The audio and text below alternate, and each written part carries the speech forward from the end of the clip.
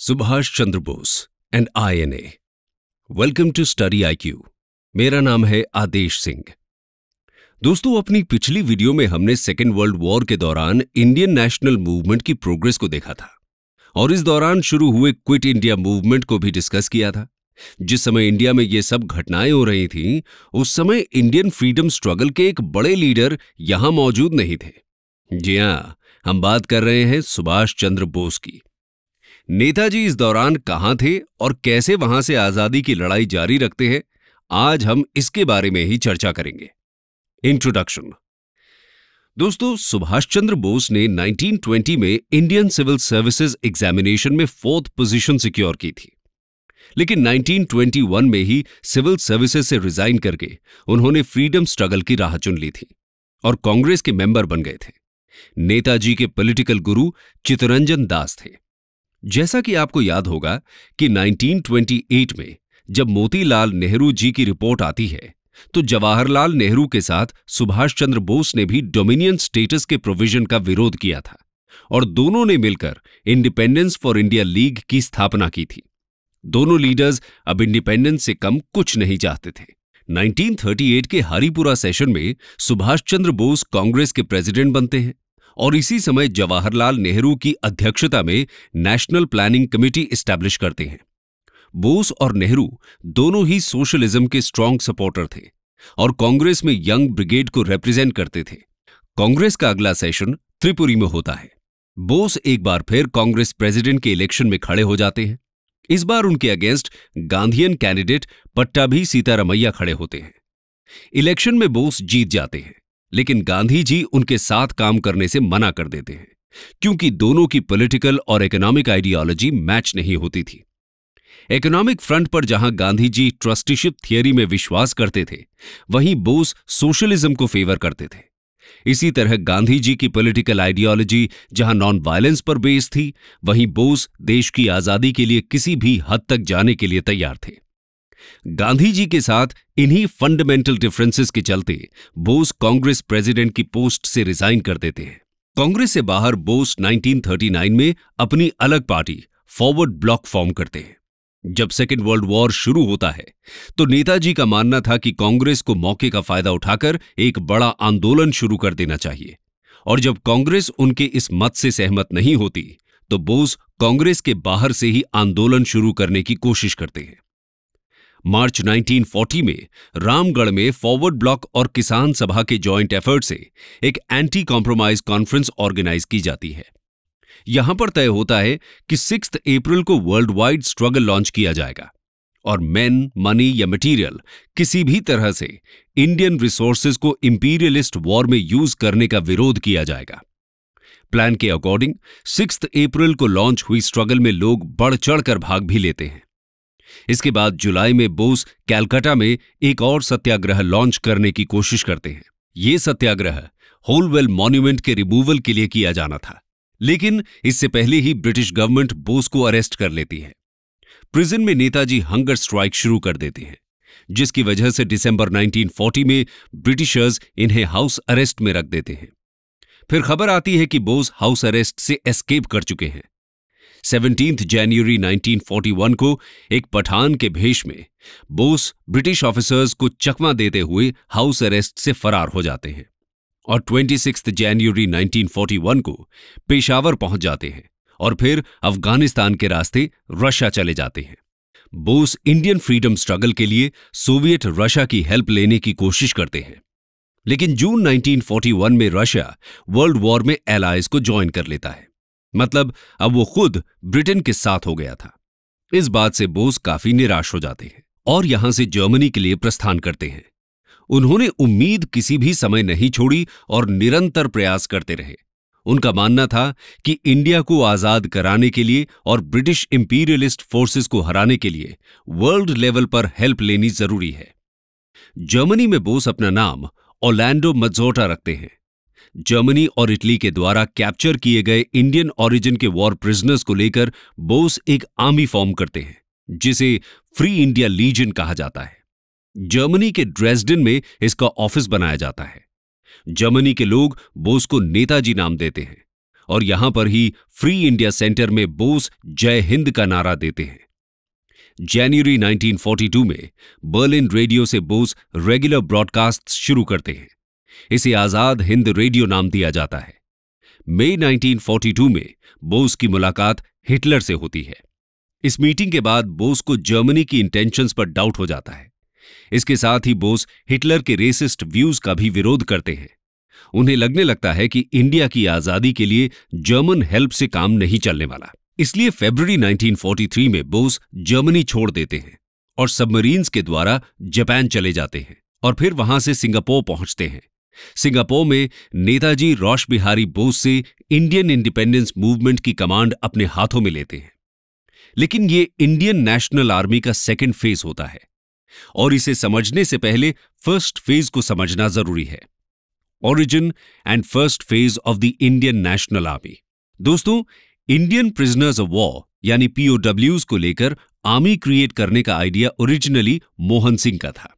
ये British Indian army के officer थे। जिन्होंने मलया में रिट्रीटिंग ब्रिटिश आर्मी को ज्वाइन न करने का फैसला किया था। इसके बाद इन्होंने जापानीज से हेल्प मांगी थी।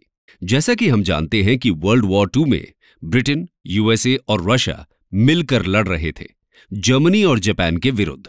जापान ने तेज़ी से बढ़ते हुए साउथ ईस्ट एशिया में ब्रिटेन और उसके अलाइज को हराया था और ब्रिटिश इंडियन सोल्जर्स को प्रिजनर्स ऑफ़ वॉर यानी पीओडब्ल्यूज बना लिया था। मोहन सिंह द्वारा हेल्प मांगने पर जापानीज इंडियन पीओडब्ल्यूज को मोहन सिंह को सौंप देते हैं, जिन्हें Mohan Singh Indian national army में रिक्रूट करने की कोशिश करते हैं।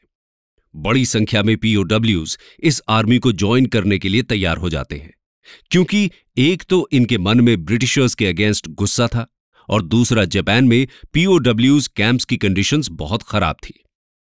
सितंबर 1942 में 16,000 से ज़्यादा सोल्जर्स के साथ आईएनए की फ़र्स्ट डिवीज़न तैयार हो जाती है।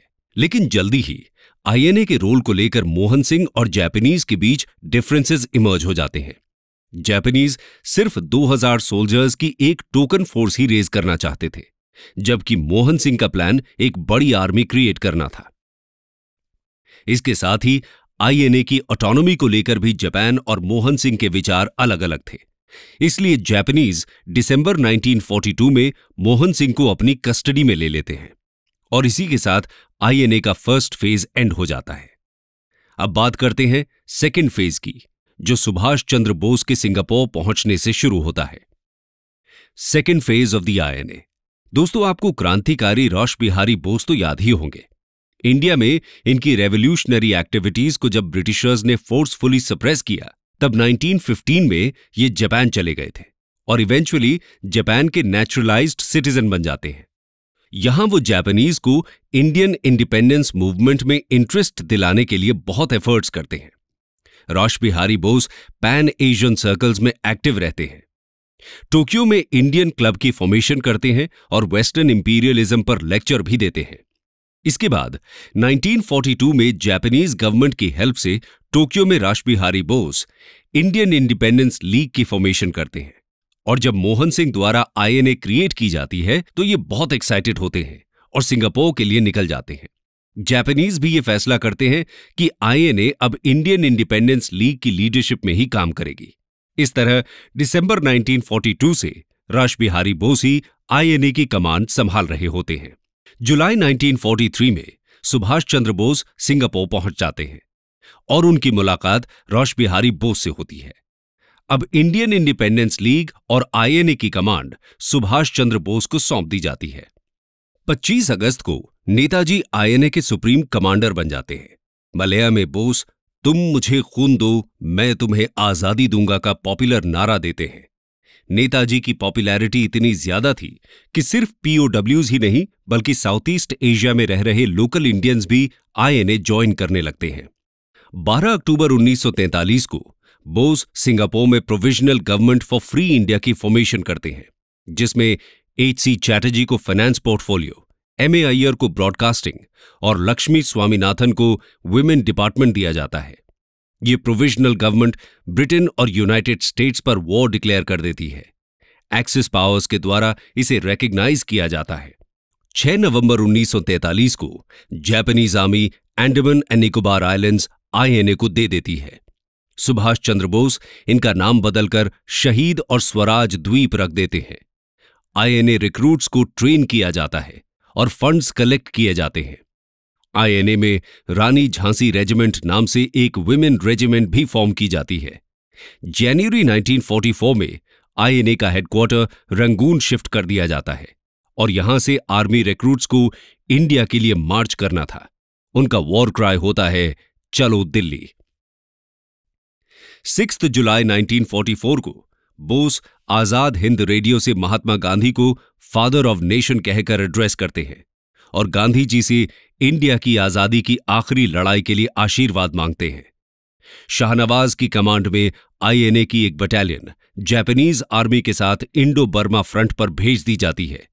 ये लोग इम्फाल कैंपेन में पार्टिसिपेट करते हैं।